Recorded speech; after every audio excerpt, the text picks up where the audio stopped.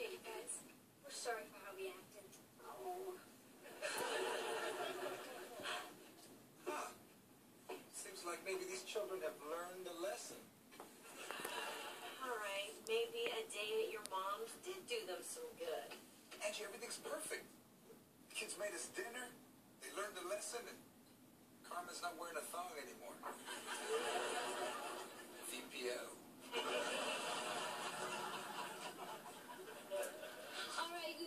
Favorite lasagna. And mom's favorite dessert, bread pudding.